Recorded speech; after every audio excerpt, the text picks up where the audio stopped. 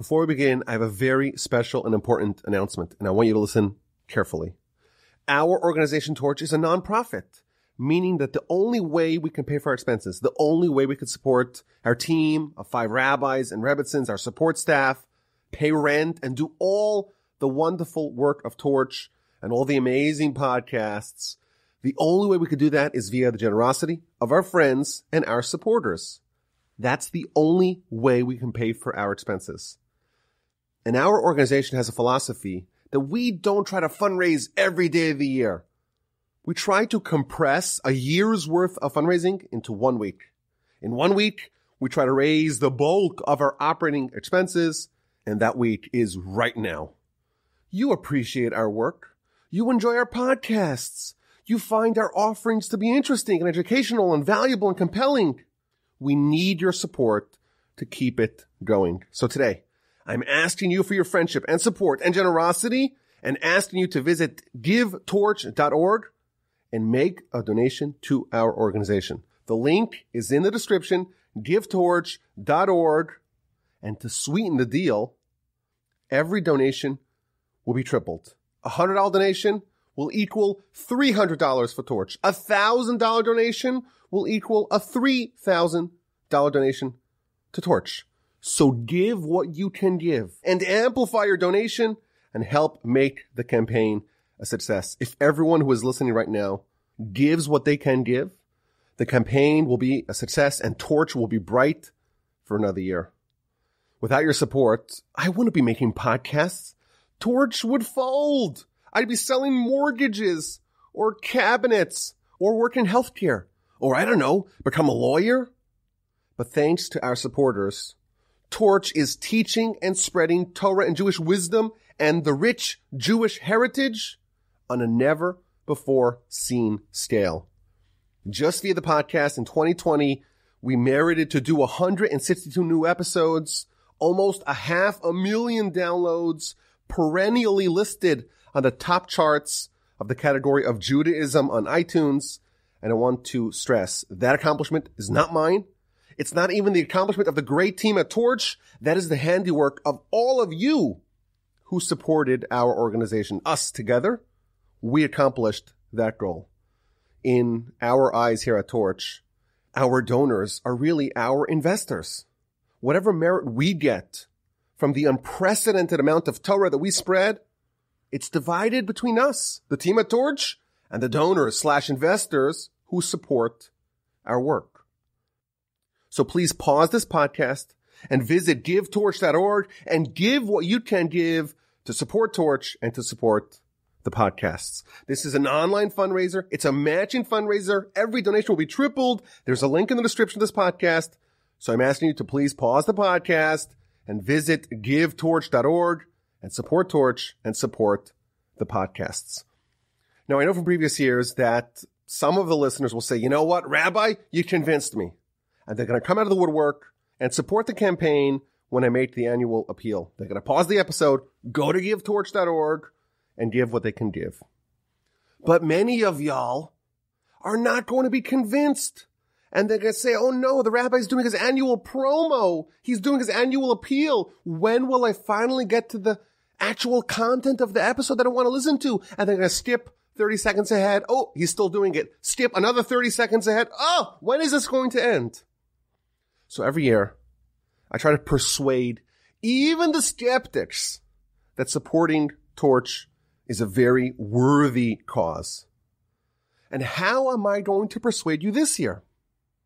Well, this year I'm doing something unprecedented and probably something a bit foolish. I may very well regret this. This may be a terrible idea, but let's give it a shot. If you need help being convinced to support Torch at givetorch.org, pull out your phone, go to your contacts, type in the name Yaakov Wolbe, that's me, the email address you already know, rabbiwolbe.com, and you put in the phone number 713-301-3611. 713-301-3611. And then you go to your messaging app and you send me a text with the words, I need to be persuaded. and I will call you up and I will personally persuade you to support Torch at givetorch.org. This is very important to me. I really would love to have 100% participation of the podcast audience. I view the podcast audience as a big distributed family, and I want everyone on board to support this campaign. If you've never given to Torch, this is a fantastic time to do it. Give what you can give. If you already are part of our donor slash investor class, push yourself to give a little more. You will not regret it. Partner with me. Give what you can. 2021, you're going to be on Team Wolbe, on Team Torch, Team Spreading Torah, and our rich Jewish heritage throughout the world. Support the Parsha podcast. Support the Jewish History podcast. Support Torah 101. Support This Jewish Life. Support the Mitzvah podcast. Support the Ethics podcast. Support all the wonderful, fantastic work of Torch. I know it's hard, but this is worth it. Push yourself and give what you can give at givetorch.org. You won't regret it. A few practical things. You can donate via PayPal. If you prefer to send a check, email me and I'll make it easier for you. We started accepting Bitcoin and other crypto via Coinbase. And in fact, we've already gotten several Bitcoin donations, but you'll need to email me to set that up. We'll do it, rabbiwojima.com. Take care of it. If I have your phone number, I plan on giving you a call this week to solicit your support for this campaign. So be on the lookout for that. You could choose which podcast to support, which torch teams to support. There's all kinds of cool sponsorship opportunities. You could support the Torch podcast microphone and studio.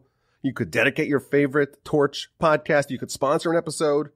Every donation of $360 or more will receive a signed copy of my upcoming book upon a 10 streamed Tarp, which is set to be released in the coming months. All that on givetorch.org.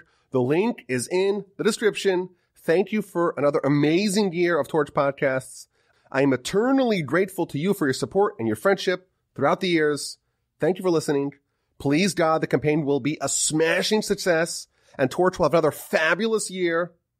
And then about a year from now, next March, we're going to have another tough business meeting, another annual appeal. And that's the only appeal you're going to hear from me for the next year. So thank you for listening. And now enjoy the podcast.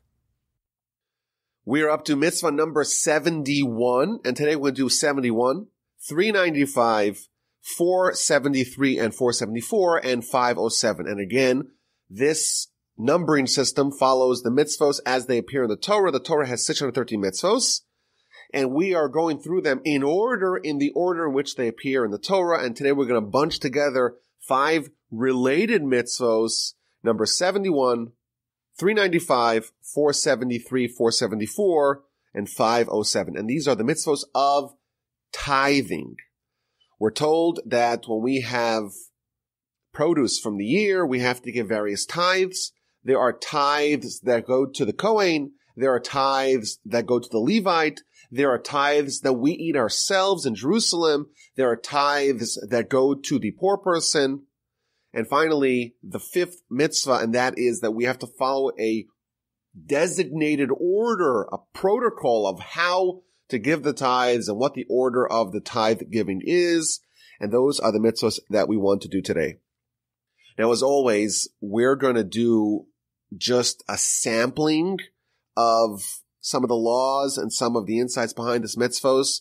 If you do the math, the amount of Mishnah that deals with the laws of tithing is about 5% of all of Mishnah. So there is a vast amount of literature on this subject, but we're going to try and get a sample, a snapshot of the mitzvah to gain some literacy as we always try to do here on the, uh, the mitzvah. So let's start with mitzvah 507, which is the truma to the Kohen. So you have your year's crops and you have to disburse the tithes before you can eat the food. And from a Torahitic level, the tithes are oriented around a farmer. You produce wheat or you plant wheat or barley or whatever it is. And after a year's worth of work, you finally reap your harvest and you have to disperse the tithes before you can eat the food. Before the food is tithed, it's called untithed or tevel, and thus it is prohibited to eat. So the first tithe that has to be given out is the truma to the Kohen, to the priest.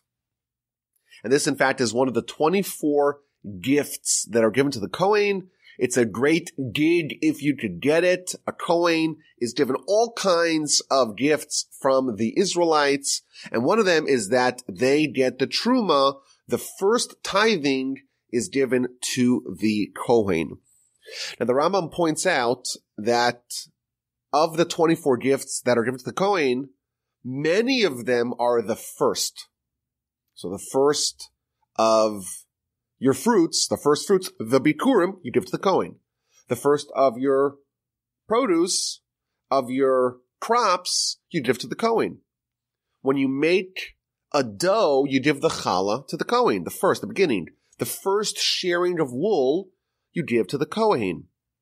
There's three parts of all sacrifices that are given to the Kohen.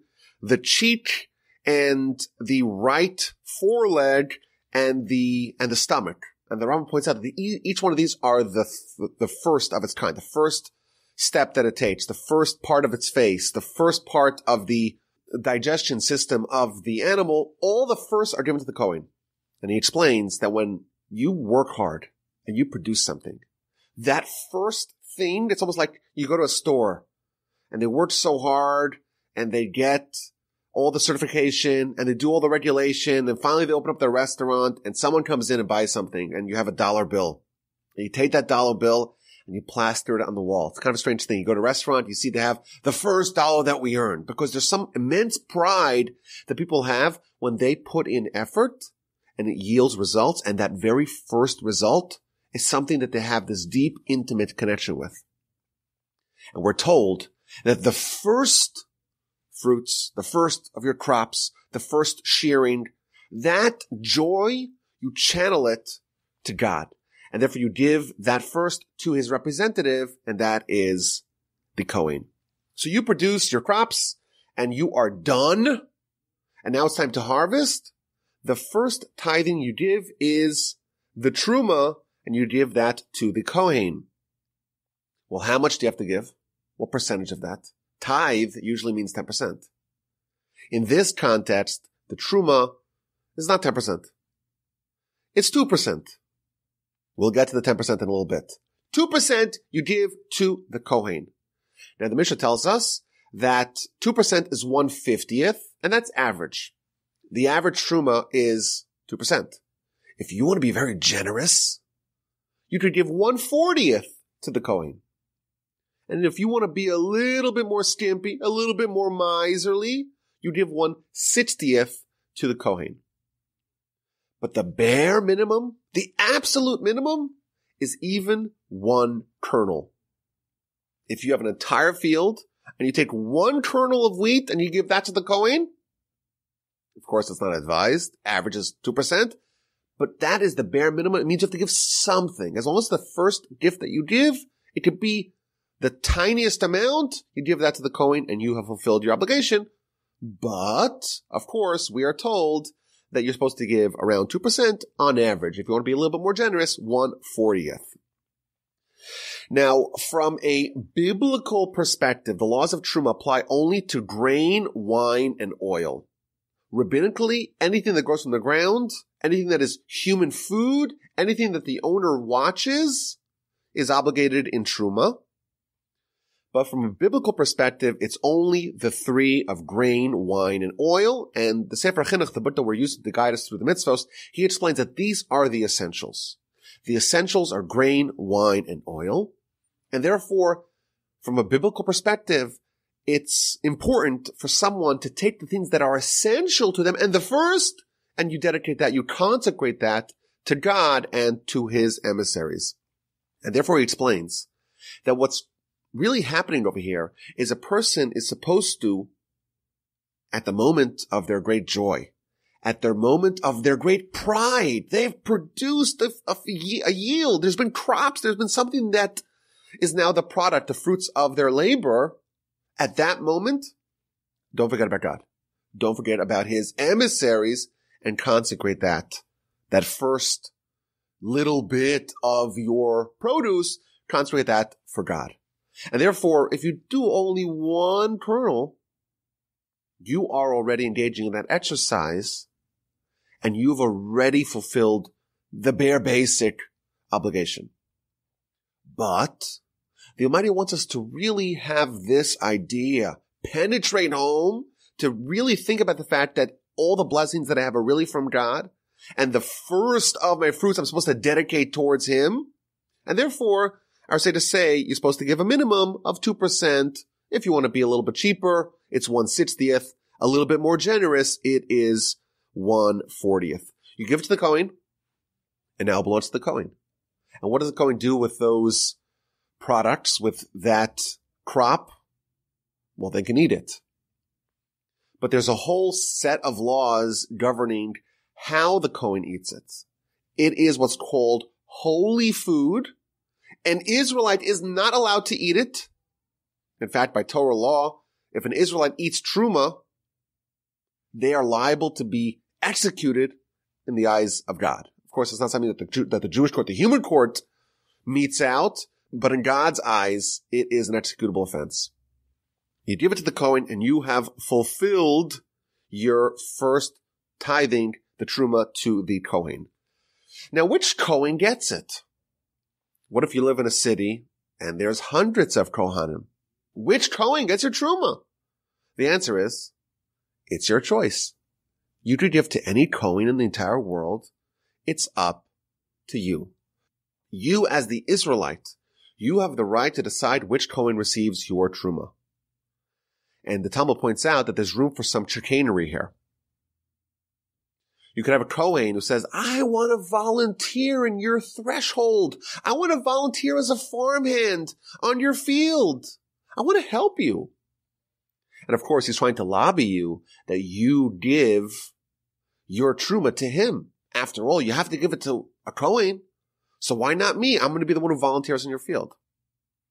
And therefore the Talmud says that a Kohen is not allowed to go and help or to get paid in truma. It's a really bad look for a Kohen to do work in exchange for the truma. It's supposed to be a gift given to the Kohen. It's not supposed to be, it's not supposed to be transactional. It's supposed to be entirely out of the goodness of your heart. 2% to the Kohen. Okay, so you've given your 2% to the Kohen. What now? Now you have the first tithe. And in this instance, it is 10%. 10% not to the Kohen, but to the Levite. Of course, a Kohen is a member of the tribe of Levi, but they're a family amongst the tribe of Levi, the family of Aaron, and Aaron and his descendants exclusively. They're not part of the general. They're almost designated as a separate group amongst the Levites, when you give the 10%, the first tithing goes to the Levites and not to the Kohen. And the Torah tells us that when they divided up the land of Israel, every tribe got a portion, with the exception of the tribe of Levi. God is their portion. They don't have land designated for them in the land of Israel. But when all of the other Israelites plant their fields and produce their crops, they give 10% to the Levite. And the commentaries here explain that the Levites, they represent the clergy. They're the ones who are always doing the bidding of the people, the spiritual bidding of the people. They are representing the nation. They are doing the work in the temple. And therefore, it's important for us, the Israelites, to sustain them with, with dignity. They, after all, don't have a portion, but everyone else is going to cover their expenses. And therefore, it's important for us as Israelites to pay for the Levites' expenses, and therefore we, we designate 10% of all of our produce to be given to the Levite. And the commentaries ask an interesting question. Well, the Levites are one tribe out of 12. And therefore, if it's fair, they don't have a portion of the land, and therefore we have to give them from our portion. But shouldn't we give them one twelfth of our crops, not one tenth? After all, they're one twelfth, they're one tribe out of twelve.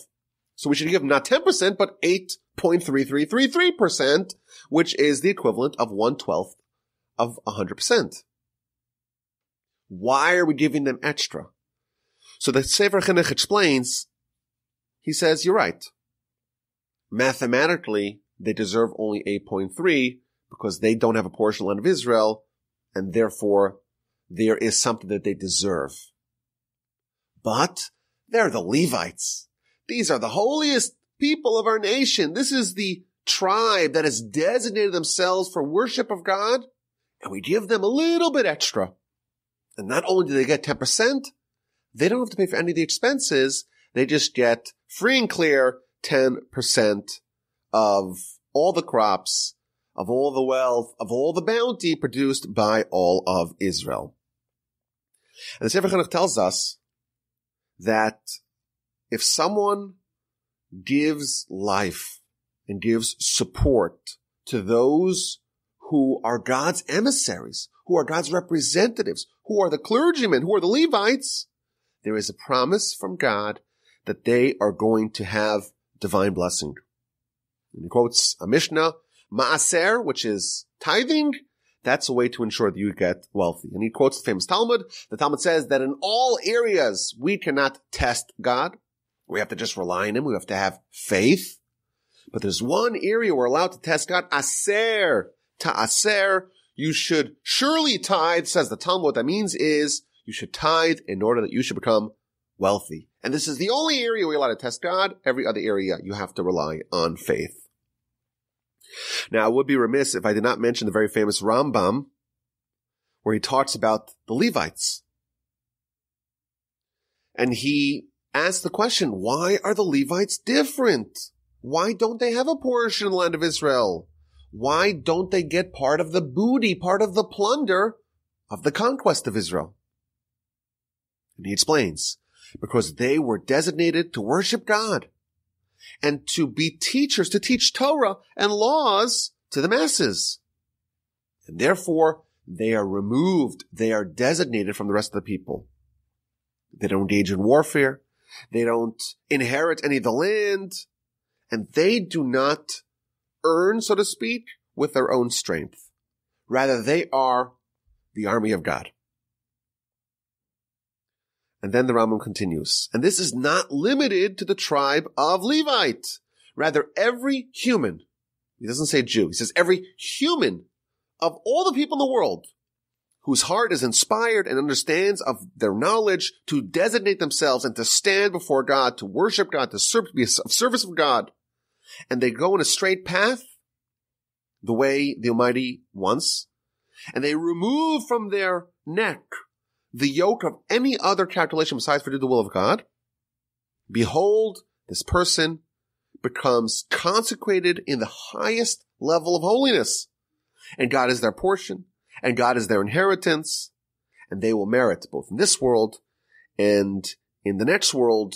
They, in this world, will be taking care of God like the Levites and the Kohanim, and of course, their reward is complete for them in the world to come. I know this is a very controversial subject, but the moral and religious argument to exempt yeshiva students from the army is this idea. We are told about a tribe that's designated for God, and that is their job. And because that's their job, the responsibilities, the other earthly terra firma responsibilities are removed from them, and consequently, Everyone else has to take care of them. And therefore, they're not responsible to go to war. And our responsibility as Israelites is to uphold them and to sustain them. Now, unlike the truma given to the Kohen, the 10% tithing given to the Levite is not holy. It can be eaten by all, provided that the Levite actually gives his tithing. And this is where it gets a little confusing.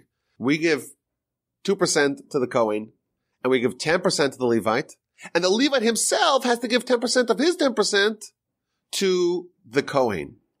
But once the Levite has tithed from his tithing, that food is completely permissible to anyone, even to regular Israelites, unlike the Truma, which can only be eaten by the Kohen and his family and his household.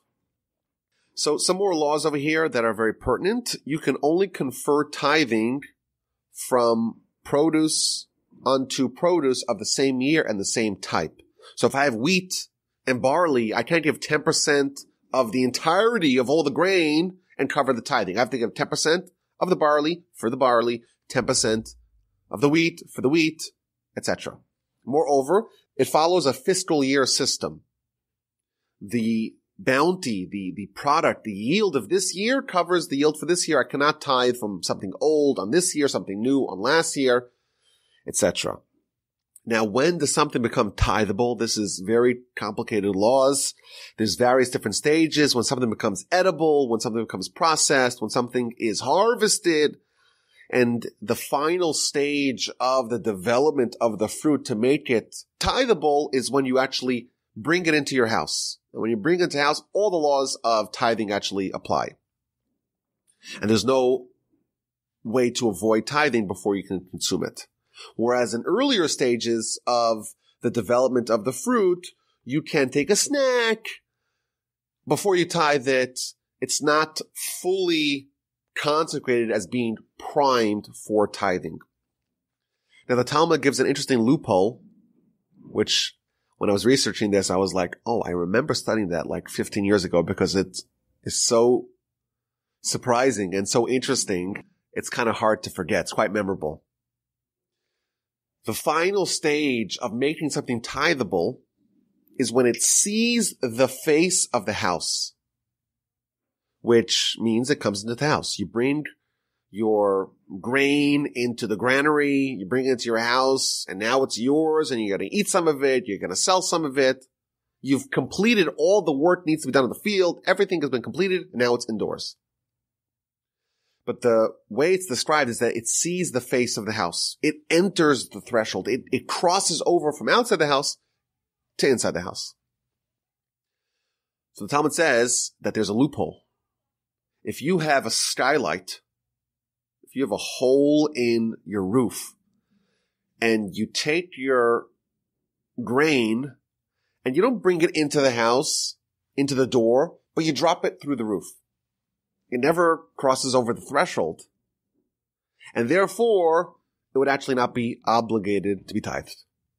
So there's a loophole. It's like you could set up your C corp in like Bermuda. You've heard of those things? The whole company runs from some PO box in Ireland or something like that. Apparently there's loopholes here for tithing as well. If someone wants to follow this loophole, they could do it but the Torah tells us, Torah warns us that in the event that someone refuses to give the tithing, even if they do it in a kosher fashion, they will end up with the tithing. The verse says that you have 100%, 100 units, and you don't give 10% to the Levite. You want to use all this chicanery, all these loopholes to avoid giving it. You will end up with that 10%, but you're going to lose the other 90%. So it's a great loophole, but it's probably bad advice. Now, if a Levite owns a field, they too are obligated to tithe. They must give to a different Levite. They are not exempt from tithing. So those are the first two tithings that we have to give. The Truma, 2% to the Kohen. The Maaser, the first tithing, which is 10% to the Levite.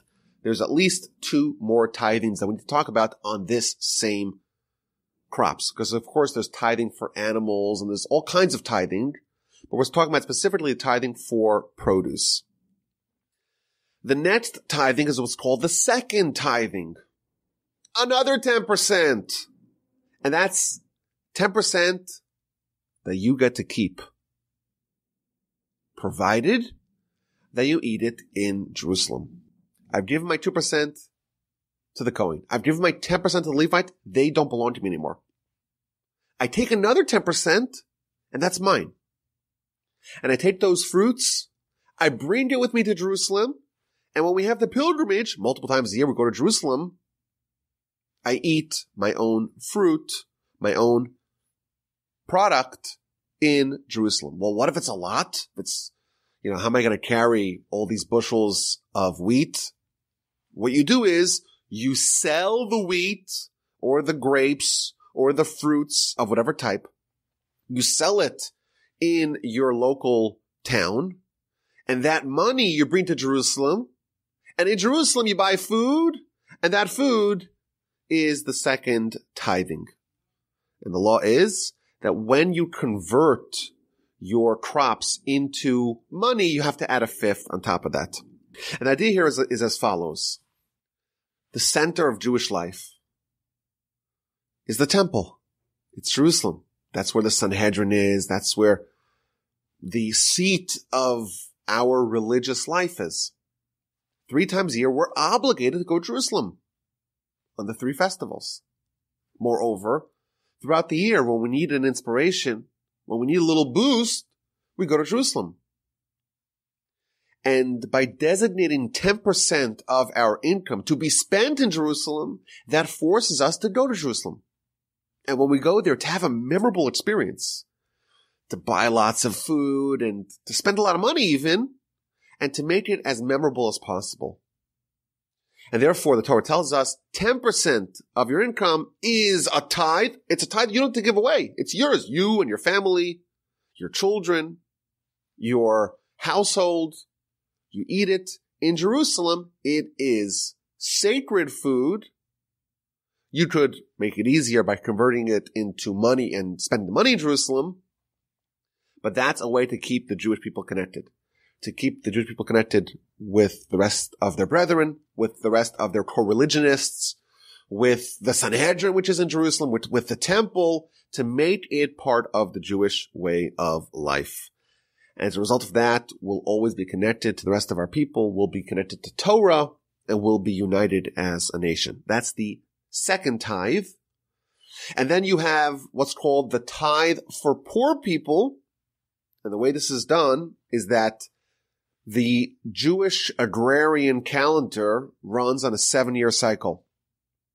Every seventh year we have Shemitah, which is a year that we're not allowed to do any work in the field, and that year we're not obligated on any tithes. So year one and year two, the second tithe is mine, and I eat it in Jerusalem. On year three, I don't have the second tithe go to me to be in Jerusalem. The second tithe is called the tithe of the poor, and I give that 10% to the poor. And then again, four and five, the second tithe is eaten by me and my family in Jerusalem. And year six, instead of the second tithe, we have the tithe for the poor people. It is an interesting question. If two thirds of the time that second 10% is eaten by me, and one third I give to the poor person, why don't we just have it every year? Two thirds of that 10% beaten by me and one third given to the poor person. It's an interesting question to be ruminated upon. So that's the basic tithing schedule. When you have your hundred bushels of wheat, 2% goes to the Kohen, 10% goes to Levite. Another 10% you have to give away. Who do you give away to? Depends. Year one, two, four, and five, that 10% you have to give it to yourself, provided you eat it in Jerusalem. Once you walk to city Jerusalem, you cross over the gate of the city, you can eat it in Jerusalem, provided you are ritually pure. Or you can convert it into money and bring it to the money to Jerusalem and eat from the food that you buy with that money in Jerusalem. That's year one, two, four, and five. Year years three and six, I take that 10% and I give it to the poor person and that belongs to the poor person. That's the basic overview of the laws of tithing from a biblical perspective. And mitzvah number 71 is the mitzvah that says we have to follow the pre-designated order. First the Kohen gets his truma, then the Levite gets his tithing, the first tithing, and then the Levite himself has to give 10% of what he got, and then we have the extra 10%, and it depends on what year we're talking about. Years one, two, four, and five. It's the Maaser Sheni, the second tithing I bring to Jerusalem. And years three and six, that 10% goes to the poor person. Now, what is the reason why we have to follow this designated protocol? This sequencing. First you do this then you do that. So the Sefer Chinuch says something really interesting. He says these laws are quite intricate. And the second you start to tamper with it, you're going to make mistakes. And because this is something which is so critical to the upholding of our religion, it's important to do it properly, to follow the pre-designated order, to not tamper with any of the details of this process. I think this is an important lesson for us. You know, with matters of charity, we sometimes like to ballpark things. Well, I don't know, uh, if I take something from the shul, or I take something from the charity, well, I'll, I'll make up for it, I'll give a little extra next time, or something like that. We don't do that. We try to follow protocol to be as precise as possible with matters of charity. Now, the final item here that I want to talk about is what about today? Most of the laws that relate to the land of Israel are applicable only during the times of the temple. We don't have a temple.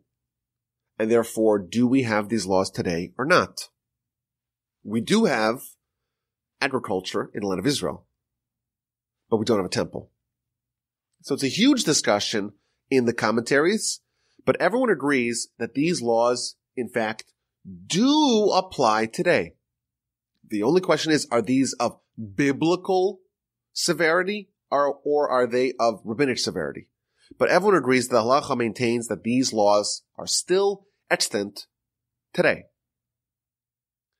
The problem is, is that we cannot give the truma to the Kohen today, or to the Levite. We can't give the tithing to the Levite and therefore we have to designate the truma and the maaser, the truma, the various tithes, but we cannot give it to the Kohen. The Kohen cannot eat it when he's ritually pure. The whole idea of purity and impurity is something that is, of course, very foreign to us.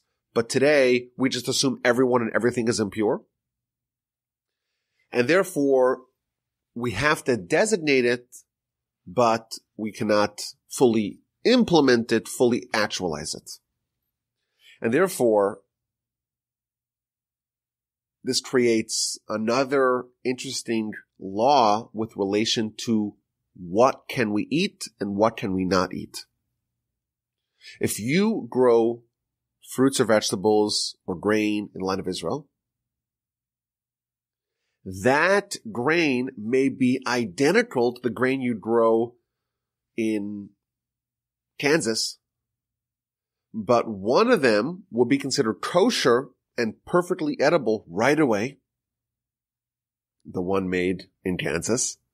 And one of them will be considered unkosher, inedible, until you separate the truma and the maaser, truma, the various tithes.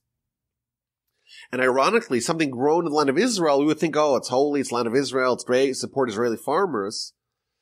Unless the tithing was done it is considered unkosher. It is like tevel. It's prohibited to be eaten until the tithing has been done. Actually, a couple of weeks ago, I got an email from one of the rabbis in town who said that there are bell peppers that come from Israel being sold in various United States groceries. And therefore, typically, you know, you look at kosher products. You want to make sure it's got the OU or whatever other kosher symbol that it may have to indicate kosher certification. But the fruits and vegetables, it's, it's all kosher, right? How, there's no, there's no animal products in it. It's kosher. Unless it comes from Israel. If it comes from Israel, it needs certification and therefore you have to be aware of that as well.